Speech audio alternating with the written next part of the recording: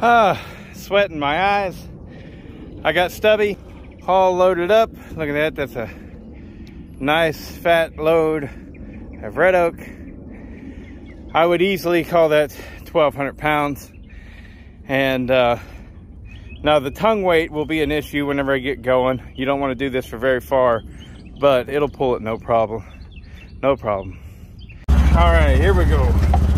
Got it in low range, two wheel drive. I'm gonna go ahead and swap over to four wheel drive and lock it, lock the rear end just in case I have problems. All right, here's the hill.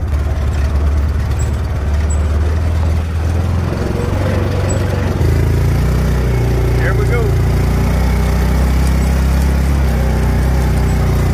Not a thing.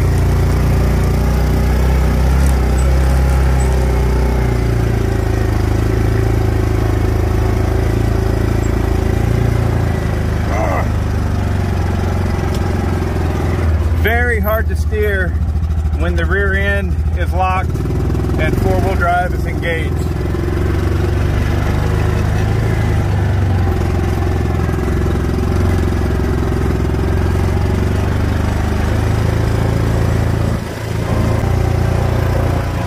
Still back there.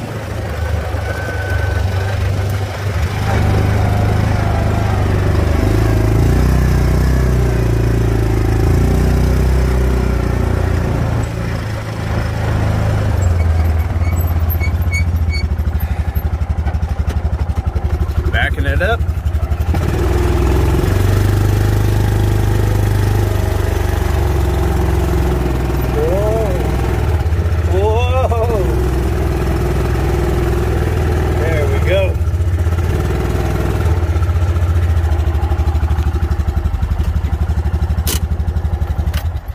Take a look at it now that uh,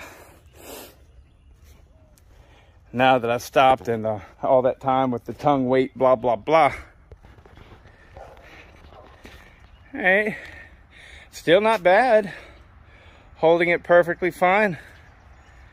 But yeah, if you guys, I'm certain that you can't tell, but that's a really steep hill that I just climbed with it.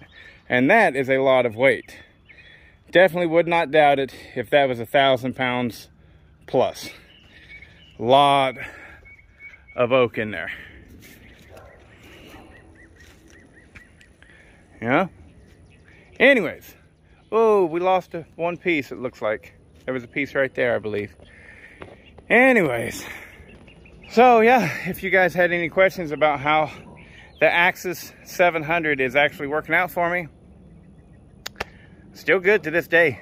It's going to need a new battery before long, but uh, you know, it, it's always from day one just been like, and then, you know, so that means it doesn't have enough cranking amps. But uh, yeah, there we have it. Just wanted to share that with you.